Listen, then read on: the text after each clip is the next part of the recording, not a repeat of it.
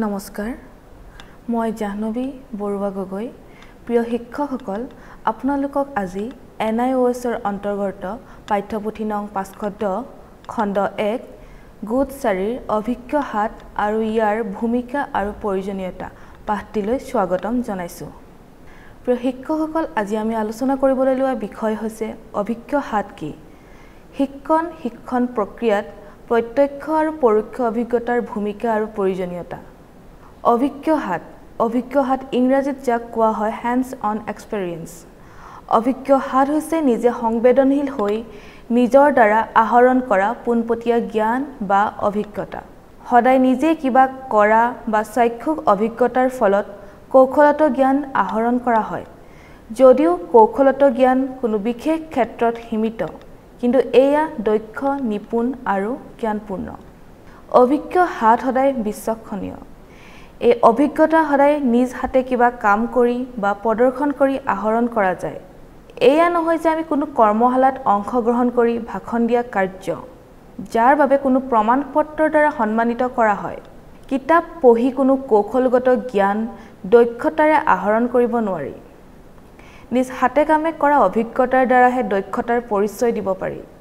কিতাপ পঢ়ি পোৱা জ্ঞানৰ বা তথ্য প্ৰয়োগ কৰি পোৱা অভিজ্ঞতাই সদায় জ্ঞানপূৰ্ণ কৰে। কেৱল কামৰ কথা পাতি বা কাৰোবাৰ দ্বাৰা কাম কৰোৱাই অৰ্জন কৰা অনুভৱ কেতিয়াও অভিজ্ঞ হাত নহয়। চাই শুনি অনুভৱ কৰি সোৱাদ লৈ গোন্ধ লৈ ইত্যাদি ধৰণে অভিজ্ঞতা বুটলা যায়। ব্যক্তিগতভাৱে সকলোৰে এনেধৰণৰ পৰিস্থিতি কিছুমানৰ সন্মুখীন হয় শিক্ষণ লাভ কৰে। অভিজ্ঞতাহে মানুহক পূৰ্ণ শিক্ষণ লাভ কৰাত সহায় কৰে। অভিজ্ঞতা অবিহনে শিক্ষণ কেতিয়াও সম্ভৱ নহয়। শিক্ষণৰ শেষ নাই। জ্ঞান লাভ আৰু শিক্ষণ দুয়োটাৰে সীমাৰ শেষ নাই। একেৰাহে সকলো কাম শিকি গৈ থাকিলেও আমাৰ অনুভৱ হয় যে শিকিবলৈ এতিয়াও বহুত বাকী আছে। শিক্ষণ কেতিয়াও আমি সম্পূৰ্ণকৈ শিকি শেষ কৰিব নোৱাৰোঁ। শিক্ষণ কেইবাধৰণৰ সম্ভৱ হ'ব পাৰে। যেনে প্ৰথমে বা প্ৰথমতে শিক্ষাৰ্থীয়ে কিতাপ পঢ়ি বা বেলেগ উৎস যেনে ইণ্টাৰনেট আলোচনী বাতৰি কাকত আদিৰ পৰাও বহুতো কথা শিকে আৰু জ্ঞান লাভ কৰে। দ্বিতীয়তে শুনি লাভ কৰা শিক্ষণ উৎসাহপূৰ্ণ হয়। যুক্তিপূৰ্ণ মনোগ্ৰাহী আলোচনাসমূহ শুনিও জ্ঞান লাভ আৰু শিক্ষণ সম্ভৱ হয়। কিন্তু যদি তুমি কিতাপ পঢ়ি বা শুনি ভাল নোপোৱা বা ৰাপ কম থাকে তেনে দুয়োটা শিক্ষণৰ ফলাফল ভাল নহয়। সেয়ে নিজে কোনো কৰ্ম কৰি পদ্ধতি কৌশল বা জ্ঞান শিক্ষণ লাভ কৰাটো হৈছে আটাইতকৈ প্ৰয়োজনীয় শিক্ষণৰ উপায়। কৰ্ম অভিজ্ঞতাই আমাক সদায় আন সম্বন্ধীয় পৰিস্থিতিৰ সন্মুখীন হ'লে বুজাত সহায় কৰে।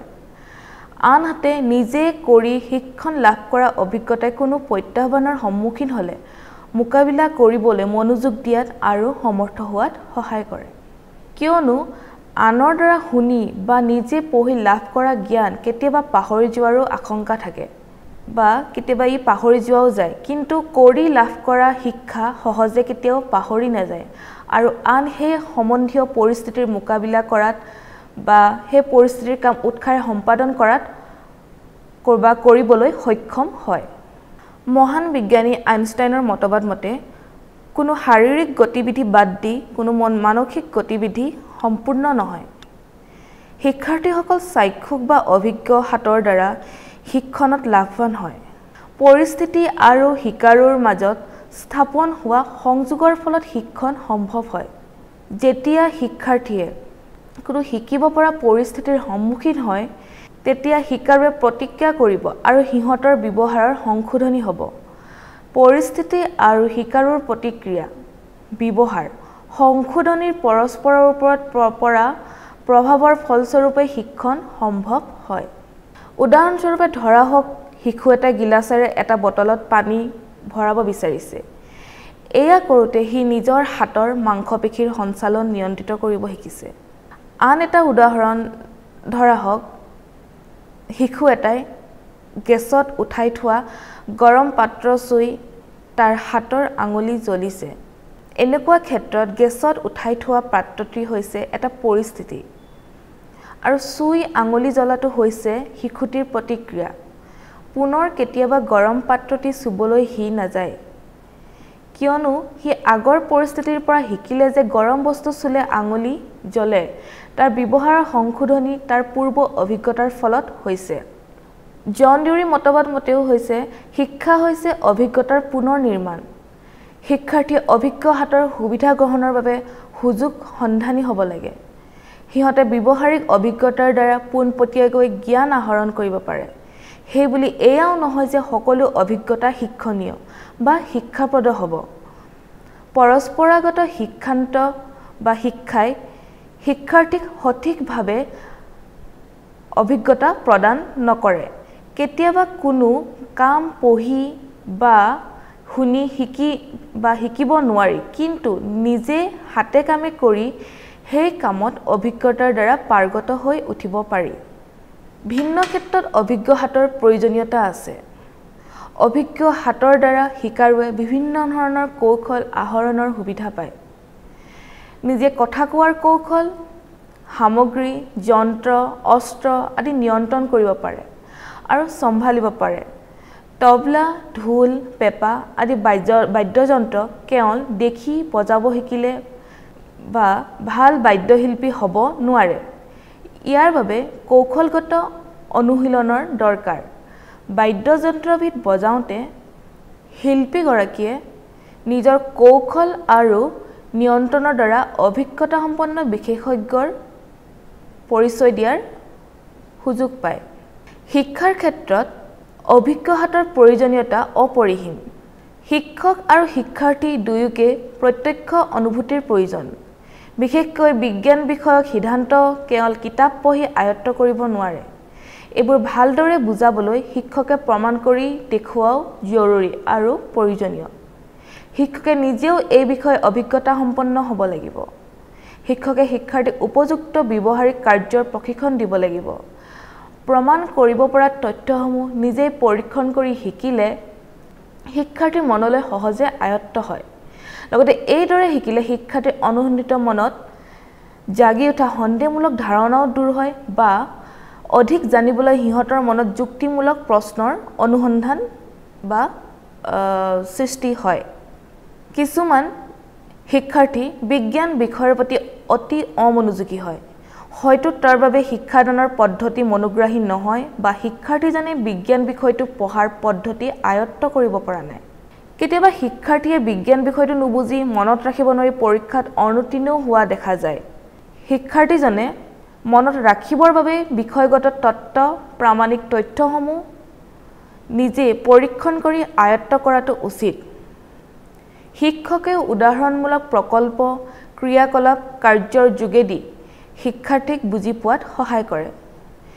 ক্ৰিয়াকলাপ প্ৰকল্প কিছুমান শিক্ষাৰ্থীক নিৰীক্ষণ কৰিবলৈ দিও মনত ৰখাত বুজি পোৱাত সহায় কৰিব পাৰি। অভিজ্ঞ হাতৰ মূল কথা সংবেদনশীল সংবেদনশীল দৃষ্টিকোণৰ দ্বাৰা আয়ত্ত। সংবেদনশীল দৃষ্টিকোণ অৰ্থাৎ নিজে দেখা শুনা সমাধান প্ৰতিস্থাপন আৰু গতিশীলতা আদি। এইবোৰ সহজে শিক্ষণ বা ব্যৱহাৰিক শিক্ষণ আৰু স্থায়ী শিক্ষণত সহায় কৰে। আৰু ইয়াৰ বাবে ইন্দ্ৰিয়ৰ দ্বাৰা লাভ কৰা অভিজ্ঞ হাতৰ অভিজ্ঞতা শিক্ষণৰ প্ৰয়োজনীয়তা কেতিয়াও নুই কৰিব নোৱাৰি।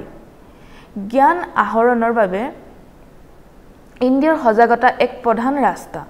বেছিভাগ সফল শিক্ষণৰ বাবেই বিভিন্ন ধৰণৰ ইন্দ্ৰিয় সজাগ হৈ ব্যৱহাৰ কৰা দেখা যায়। চুই চোৱা চকুৰে দেখা গুণ লোৱা সোৱাদ লোৱা কাণেৰে শুনা এই পঞ্চ ইন্দ্ৰিয়ৰ সহায় সহযোগ শিক্ষণত সদায় প্ৰয়োজনীয়।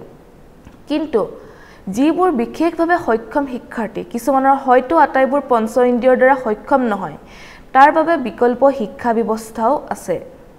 যদিও গোন্ধ লোৱা চুই চোৱা শিক্ষণত জৰুৰী কিন্তু বিজ্ঞান বা প্ৰয়োগিক বিজ্ঞানৰ বিষয়সমূহৰ শিক্ষণত ইয়াৰ ব্যৱহাৰ তুলনামূলকভাৱে কম।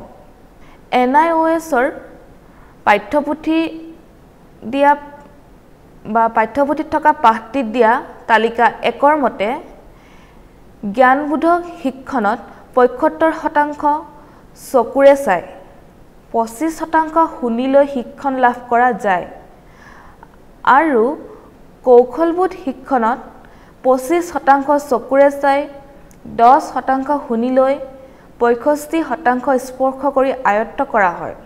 গোন্ধ লৈ আৰু সোৱাদ লৈ আহৰণ কৰা কৌশলগত জ্ঞান তেনেই কম। মাত্ৰ কেইবিধমান বিষয়ত এই দুই ইন্দ্ৰিয়ৰ প্ৰয়োজন যেনে ৰাসায়নিক পদাৰ্থ চিনাক্তকৰণ স্বচ্ছতা ৰন্ধা বঢ়া ইত্যাদি। তালিকাখনৰ পৰা এই কথাও স্পষ্ট হয় যে বিজ্ঞান শিক্ষণত বা শিক্ষণত কাণেৰে শুনি লোৱা ইন্দ্ৰিয়ৰ সহায় ব্যৱহাৰ বা অভিজ্ঞতাৰ প্ৰভাৱ তুলনামূলকভাৱে কম ঠাই আগুৰি আছে। যেনে ভাষণ ব্যাখ্যা আলোচনা প্ৰশ্ন উত্তৰ আদি শুনি লৈ আয়ত্ব কৰা জ্ঞান। কিন্তু ইয়াৰ স্থায়িত্ব কম। শিক্ষাৰ্থীয়ে সহজে পাহৰি যোৱাৰ আশংকা থাকে। মনোগ্ৰাহী নহ'লে শিক্ষাৰ্থীয়ে শুনাৰ অলপ পাছতে বিষয়বস্তু পাহৰি যায়। চকুৰে দেখাৰ পৰা লোৱা শিক্ষণৰ প্ৰভাৱ শুনি লোৱা শিক্ষণতকৈ সদায় বেছি। আৰ্হি তালিকা কম্পিউটাৰ দ্বাৰা প্ৰদৰ্শন শিক্ষণ আদি দেখিলৈ আয়ত্ব কৰা যায়। আনহাতে কৌশলগত জ্ঞানৰ বাবে কিছুমান বিষয়ত হস্ত নিপুণতা পাকৈত হোৱাটো প্ৰয়োজনীয়। স্পৰ্শ কৰি লোৱা অভিজ্ঞতা মূলতে কৌশলগত জ্ঞান আহৰণত ব্যৱহাৰ কৰা হয়। শিশুৰ শিক্ষণত প্ৰথম আৰু পোনপটীয়া অভিজ্ঞ হাতৰ ভূমিকা। শিশুৰ শিক্ষণ কাৰ্যত প্ৰথম আৰু পোনপটীয়া অভিজ্ঞ হাতৰ প্ৰয়োজনীয়তা অপৰিহাৰ্য। শিশুৱে কেৱল প্ৰজ্ঞানাত্মক ক্ষেত্ৰ ব্যৱহাৰ কৰি পোনপটীয়া অভিজ্ঞতাৰ শিকণ লাভ কৰে। এনে নহয় মনোসঞ্চালক ক্ষেত্ৰ আৰু ভাৱাত্মক ক্ষেত্ৰ ব্যৱহাৰ কৰিও পোনপটীয়া অভিজ্ঞতাৰ শিক্ষণ লাভ কৰে। যেতিয়া কেইবাটাও ইন্দ্ৰিয়ৰ দ্বাৰা সজাগ হৈ এই তিনিওটা ক্ষেত্ৰ ব্যৱহাৰ কৰি উদ্দীপনা হিচাপে শিক্ষণ আহৰণ কৰে তেতিয়া ইয়াৰ দ্বাৰা শিকাৰুৱে নিজৰ পূৰ্বৰ কোনো বিষয়ৰ সামগ্ৰিকতাৰ সন্দৰ্ভে স্পষ্টকৈ জনাৰ আৰু বিকাশ কৰিবৰ বাবে বেছি সুবিধা পায়। কিছুমান কৌশলগত জ্ঞানৰ ক্ষেত্ৰত সফলতা আৰ্জিবলৈ শিশুক প্ৰথমে পোনপটীয়াকৈ শিক্ষণ লাভৰ প্ৰয়োজন আছে। বিশেষকৈ কিছুমান কৌশলগত জ্ঞান কেৱল শৰীৰৰ নিৰ্দিষ্ট অংগ সঞ্চালন কৰিহে দক্ষতাপূৰ্ণ শিক্ষণ লাভ কৰিব পৰা যায়। যেনে তবলা বাদন ঢোল বাদন বিজ্ঞানৰ পৰীক্ষাগাৰত জবা ফুল এপাহৰ বিভিন্ন অংশসমূহ নিৰীক্ষণ কৰিবলৈ যাওঁতে প্ৰথমে ফুলপাহৰ ছেদনৰ নীতি নিয়মবোৰ আৰু হাতৰ সঞ্চালন নিয়ন্ত্ৰণ শিক্ষণৰ বাবে অভিজ্ঞ হাতৰ দৰকাৰ। পোনপটীয়া অভিজ্ঞতা বা প্ৰকৃত জীৱনৰ নিজা অভিজ্ঞতাই শিশুৰ শিক্ষণত বিশেষ ভূমিকা পালন কৰে। যেনে অভিৰোচন বৃদ্ধি। অভিজ্ঞ হাতৰ শিশুৰ শিক্ষণৰ উদ্দেশ্যে অভিৰোচনৰ দ্বাৰা মনোযোগ বৃদ্ধি কৰে। প্ৰাথমিক স্তৰত আখৰ চিনাকি কৰোঁতে বা ফল ফুল ইত্যাদিৰ নাম শিকোঁতে ৰং বিৰঙৰ আকৰ্ষণীয় কিতাপ পুতলা আৰ্হি শিশুক দিয়া হয়। প্ৰাথমিক স্তৰত শিশুৱে ৰং পুতলা আদিৰ প্ৰতি সহজে আকৰ্ষিত হয়। সেয়েহে এইবোৰ ব্যৱহাৰৰ যোগেদি নিজকে অভিৰুচিত কৰি মনোযোগ বৃদ্ধি কৰি শিক্ষণ কৰোৱা হয়। আন এটি অভিজ্ঞতা আচাৰ ব্যৱহাৰৰ সংশোধন। অভিজ্ঞ হাতৰ যোগেদি শিশুৱে নিজৰ আচাৰ ব্যৱহাৰ শিক্ষণ আৰু সংশোধন কৰিব পাৰে। যেনে ডাঙৰক সন্মান শিক্ষকক সন্মান সৰুক মৰম সমাজ সচেতনতা আদি ব্যৱহাৰমূলক জ্ঞান আনক দেখি লাভ কৰা যায়। পৰীক্ষাগাৰত কৰা ব্যৱহাৰিক কাৰ্যসমূহ সদায় অভিজ্ঞ হাতৰ ফলাফল। তিনি যোগাযোগ বিকাশ। ভাষা সন্দৰ্ভত উপযুক্ত অভিজ্ঞ হাতৰ অভিজ্ঞতাই শিশুক কথা কোৱাৰ কৌশল কোনো বিষয়ক বৰ্ণনা কৰা কৌশল ভিন্ন মানুহৰ সম্বোধিত কৰি কথা কোৱাৰ কৌশল আদি আয়ত্ব কৰাত সহায় কৰে। ভাষা আহৰণ শুনি লৈ চুই লৈ কৰা যায়। শিশুক কোনো বিশেষ সজ্জিত আৰ্হি দি বহুতো শব্দৰে বৰ্ণনা কৰিবলৈ দিব লাগে যাৰ দ্বাৰা আনৰ সৈতে যোগাযোগ মাধ্যম স্থাপনত সহায় কৰে। শিক্ষণৰ ভিত্তিত অভিজ্ঞতাক দুটা ভাগত ভাগ কৰা যায়। এক হৈছে প্ৰত্যক্ষ অভিজ্ঞতা দুই পৰোক্ষ অভিজ্ঞতা। প্ৰথমে আহোঁ আমি প্ৰত্যক্ষ অভিজ্ঞতালৈ। কোনো বস্তু বা কোনো প্ৰতীক চিহ্নৰ সৈতে প্ৰথম আৰু পোনপটীয়াকৈ লাভ কৰা অভিজ্ঞতাৰ পোৱা পোৱা শিক্ষণ হৈছে প্ৰত্যক্ষ অভিজ্ঞতা। স্বয়ং আৰু স্বয়ংক্ৰিয়ভাৱে স্বয়ং আৰু স্বয়ংক্ৰিয়ভাৱে অনুভৱ কৰা অভিজ্ঞতা। প্ৰত্যক্ষ অভিজ্ঞতাৰ অন্তৰ্ভুক্ত কৰিব পাৰি সাধাৰণতে। বিশেষভাৱে বৈশিষ্ট্যমূলক শিকন বা অৱধাৰণাত্মক শিক্ষা। অৱধাৰণাত্মক শিক্ষা এক বহল সংজ্ঞা চৰ্ত বা নিয়ম। বিজ্ঞান বিষয়ে বুজাবলৈ ব্যৱহাৰ কৰা প্ৰতীকী চিহ্নৰ অভিজ্ঞতাও অৱধাৰণাত্মক শিক্ষা হয়। অৱধাৰণাত্মক শিক্ষাত প্ৰয়োগ কৰা অভিজ্ঞতাৰ ভিত্তি হৈছে কোনো বস্তু দেখা বা শুনা সোৱাদ লোৱা স্পৰ্শ নিয়ন্ত্ৰণ ভেদাভেদ কৰা পদ্ধতি। যেতিয়া কোনো দুটা বস্তুৰ মাজত মিঠা তিতা কোমল কঠিন কোমল খহটা ওখ চাপৰ আদি নিৰ্ণয় কৰিব পাৰোঁ তেনে সেয়া হৈছে অৱধাৰণাত্মক শিকন বা শিক্ষণ। এই প্ৰতীকী শব্দসমূহেৰে আমি বিভিন্ন ধৰণৰ বস্তু বুজাব পাৰোঁ।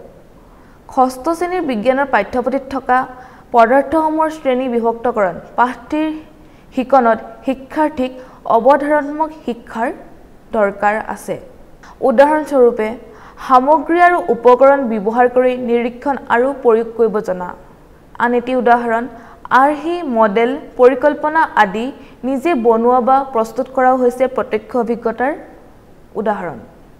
মৌখিকভাৱে বা লিখিতভাৱে কোনো বৰ্ণনা প্ৰস্তুতকৰণ মৌখিক বা লিখিতভাৱে কোনো বিৱৰণৰ উপস্থাপন কৰা সংক্ষিপ্তকৰণ সাধাৰণীকৰণ মহত্বপূৰ্ণতা সংকেত আদি তালিকাকৰণ বা সূচীবদ্ধ কৰিব পৰা মহত্বপূৰ্ণ তথ্যসমূহ বা সংকেতসমূহ আদি সূচীবদ্ধ কৰিব জনাও হৈছে প্ৰত্যক্ষ অভিজ্ঞতাৰ এক উদাহৰণ।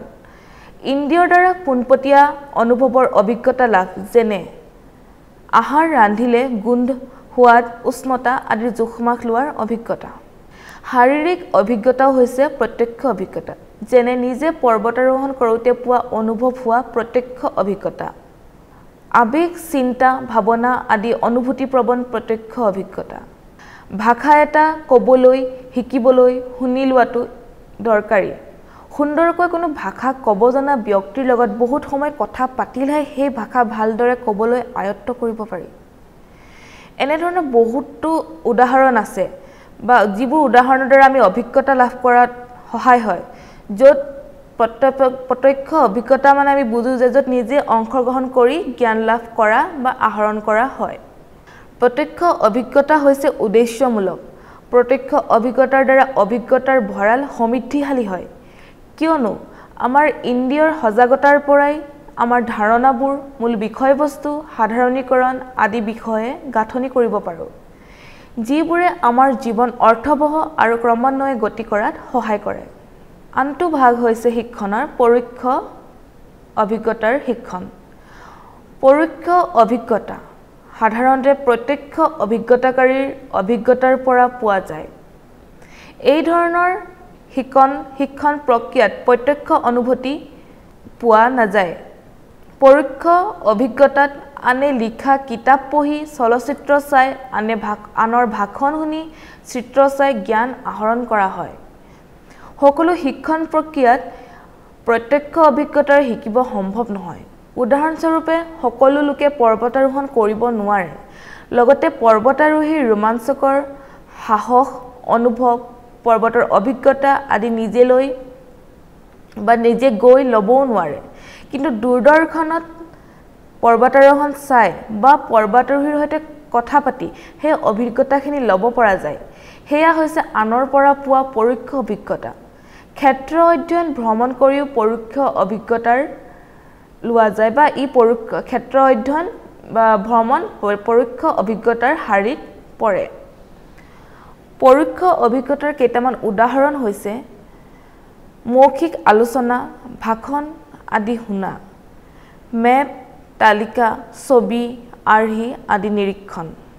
এই প্ৰত্যক্ষ আৰু পৰোক্ষ দুই ধৰণৰ অভিজ্ঞতাৰ পৰা আমি বুজিছোঁ যে প্ৰত্যক্ষ আৰু পৰোক্ষ এই দুই ধৰণৰ অভিজ্ঞতা সকলো কাৰ্যকলাপ বা প্ৰক্ৰিয়াত সম্পূৰ্ণৰূপে পৃথকভাৱে শিকিব নোৱাৰি। বিশেষকৈ ব্যৱহাৰিক শিক্ষা লাভ কৰোঁতে প্ৰত্যক্ষ আৰু পৰোক্ষ দুয়ো অভিজ্ঞতাৰ সংমিশ্ৰণেৰে বহুতো কাৰ্যকলাপ ক্ৰিয়াকলাপ আয়ত্ত কৰা হয়। গতিকে এই অভিজ্ঞতাসমূহৰ গুৰুত্ব বা প্ৰয়োজন অপৰিসীম। বেছিভাগ কথাত কাৰ্যতে এই অভিজ্ঞতাৰ প্ৰয়োজন আছে।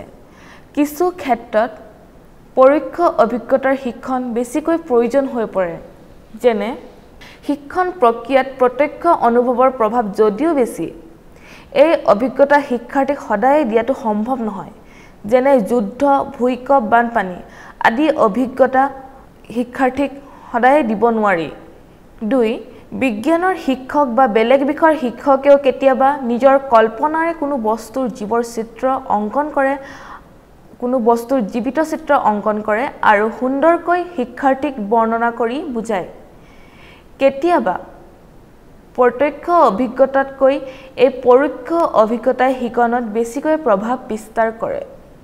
তিনি শিক্ষাদান ব্যৱস্থাত সদায় পৰোক্ষ অভিজ্ঞতা বেছিকৈ ব্যৱহাৰিকভাৱে প্ৰয়োগ কৰা হয়। চাৰি পৰোক্ষ অনুভৱেৰে নিৰীক্ষণ কৰা অভিজ্ঞতা ব্যৱহাৰ কৰি সুচাৰুৰূপে শিক্ষাদান কৰিব পৰা যায়। এতিয়া আমি আহোঁ অভিজ্ঞ হাতৰ মানদণ্ড। অভিজ্ঞ হাত বা পোনপটীয়া অভিজ্ঞতাৰ যোগেদি জ্ঞান আহৰণ কৰিবলৈ হ'লে কেনেকুৱা ধৰণৰ মানদণ্ড প্ৰত্যক্ষ অভিজ্ঞতাৰ নিৰ্বাচন কৰা যায় সেয়া জানিব লাগিব। প্ৰথমে অভিজ্ঞ হাত পোনপটীয়াকৈ শিক্ষণৰ উদ্দেশ্যৰ সৈতে জড়িত থাকিব লাগিব। আগতেও কোৱা হৈছে সকলো অভিজ্ঞতাই শিক্ষণীয় নহয়। গতিকে যি ব্যৱহাৰ শিক্ষণীয় সেয়া ব্যৱহাৰ কৰা উচিত। দুই অভিজ্ঞ হাতে প্ৰকৃতি বা প্ৰকৃত জীৱন সাঙুৰি লয়। স্বয়ং নিজৰ জীৱনত সন্মুখীন হোৱা পৰিস্থিতিৰ পৰাহে মানুহে পোনপটীয়াকৈ অনুভৱ বুটলে। স্বয়ং নিজে কৰা পৰিস্থিতিৰ অভিজ্ঞতা আন সেই সম্বন্ধীয় পৰিস্থিতিৰ সন্মুখীন হ'বলৈ সমৰ্থ কৰে। পূৰ্বৰ অভিজ্ঞতাৰ ভিত্তিত সমস্যাৰ মোকাবিলা সমাধান আৰু নিয়ন্ত্ৰণ কৰিব পাৰে। তিনি বয়স অনুযায়ী শিকাৰুৱে উপযুক্ত অভিজ্ঞ হাতৰ অনুভৱ কৰা উচিত। শিশুৰ পৰা বৃদ্ধ ব্যক্তিৰ অৱস্থালৈ মানুহে ভিন ভিন অভিজ্ঞতাৰ সন্মুখীন হয়। সংবেদনশীল পৰিস্থিতিত কিছুমান মোকাবিলা কেৱল প্ৰাপ্তবয়স্ক লোকেহে কৰিব পাৰে। সৰু ল'ৰা ছোৱালী এনে সংবেদনশীল পৰিস্থিতিৰ মোকাবিলা হ'লে তাৰ ফলাফল বেছিভাগ ভয়াৱহ হয়। সেয়ে শিক্ষকে বয়স অনুযায়ী শিক্ষা প্ৰদান কৰিব লাগে। এতিয়া আহোঁ শিকন আহিলা আৰু পদ্ধতি। শিক্ষকে অভিজ্ঞ হাতৰ দ্বাৰা শিক্ষা দিবলৈ বিভিন্ন ধৰণৰ শিকন আহিলা ব্যৱহাৰ কৰে। শিক্ষাৰ্থীসকলে একেবাৰে সকলো জ্ঞান প্ৰাপ্ত কৰিব নোৱাৰে। সেয়েহে ক্ৰমান্বয়ে শিক্ষাৰ্থীৰ জ্ঞান সমৰ্থ কৌশলৰ শিক্ষা দিয়াটো উচিত। কিছুমান শিকনৰ আহিলা আৰু পদ্ধতি যিবোৰে অভিজ্ঞ হাতৰ অনুভূতি সৃষ্টি কৰে যেনে পৰীক্ষণ। ব্যৱহাৰিক পৰীক্ষণসমূহ শিক্ষণৰ যোগেদি শিক্ষাৰ্থীয়ে নিৰ্দিষ্ট আহিলা সৰঞ্জামবোৰ নিৰন্তৰ নিৰীক্ষণ বোধ শক্তি আদি কৌশলসমূহ আয়ত্ব কৰে। কৌশলগত উদ্দেশ্য হৈছে শিক্ষণীয় উদ্দেশ্য গতিকে কৌশলগত শিকণ শিক্ষণ উদ্দেশ্যমূলক। দুই শ্ৰৱণ দৃশ্যমান আহিলা। ৰেডিঅ' দূৰদৰ্শন O' H P overhead projector slide projector computer আদি সহায়ত শিক্ষাদান। তিনি ক্ৰিয়াকলাপৰ ভিত্তিত শিক্ষাদান নাটক তৰ্ক প্ৰতিযোগিতা আদি ক্ৰিয়াকলাপৰ যোগেদিও শিক্ষাদানৰ উদ্দেশ্য ব্যক্ত কৰিব পাৰি। এইবোৰ উদ্দেশ্যৰ ওপৰত ভিত্তি কৰি ক'ব পাৰি যে বিজ্ঞান বিষয়ৰ লগত অভিজ্ঞ হাতৰ ওতঃপুত্ৰ সম্বন্ধ আছে। সেয়ে বিজ্ঞানৰ শিক্ষকে উপৰোক্ত আহিলাসমূহ ব্যৱহাৰৰ যোগেদি বিজ্ঞান শিক্ষাদান আৰু সহজ কৰি তোলে। শিক্ষকসকল আজি এই পাঠটিত কি আলোচনা কৰিলোঁ সেয়া পুনৰ এবাৰ অনুকুৱাইছোঁ অভিজ্ঞ হাত হৈছে পোনপটীয়াকৈ নিজে আহৰণ কৰা জ্ঞান বা অভিজ্ঞতা। সক্ৰিয় ইন্দ্ৰিয়ৰ সহায়ত অভিজ্ঞ হাতৰ অনুভৱ আহৰণ কৰা যায়। অভিজ্ঞ হাতত সদায় শিক্ষণীয় উদ্দেশ্য জড়িত থাকিব লাগে।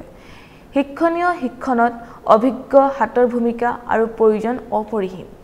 শিক্ষকে বিভিন্ন ধৰণৰ আৰ্হিৰে অভিজ্ঞতাসমূহ শিক্ষাৰ্থীক অনুভৱ কৰি বিষয়বস্তু সম্বন্ধে বোধশক্তি প্ৰদান কৰে। প্ৰত্যক্ষ অভিজ্ঞতাত সম্পূৰ্ণৰূপে স্বয়ং নিজে উপস্থিত থাকি পোনপটীয়াকৈ অভিজ্ঞতা লাভ কৰে। পৰোক্ষ অভিজ্ঞতা দূৰদৰ্শন আৰ্হি আদি চাই অভিজ্ঞতা বুটলা যায়। শিক্ষাদানত সদায়ে প্ৰত্যক্ষ অভিজ্ঞতা প্ৰদান কৰাটো সম্ভৱ নহয়। সেয়ে পৰোক্ষ অভিজ্ঞতাৰ দ্বাৰা প্ৰত্যক্ষ অভিজ্ঞতাৰ অনুভৱ আহৰণ কৰা হয়। যদিও অভিজ্ঞ হাতৰ বোধ শক্তি মনত ৰাখিব পৰা আদি পৰোক্ষ অভিজ্ঞতাতকৈ বেছি কিন্তু সকলোৰে বাবে এয়া অনুভৱ কৰাটো সহজ নহয়। শিক্ষণ শিক্ষণ প্ৰক্ৰিয়াৰ মনোগ্ৰাহী আৰু সহজ সৰল কৰিবলৈ বিশেষকৈ বিজ্ঞান বিষয়ত অভিজ্ঞ হাতৰ ভূমিকা অপৰিহাৰ্য। শিক্ষাৰ্থীৰ শিকনৰ বা শিক্ষণৰ বাবেই সৰ্বোত্তম চেষ্টা আৰু যত্ন কৰি অভিজ্ঞ হাতৰ শিক্ষণ যোগান ধৰিব লাগে। ধন্যবাদ। thank you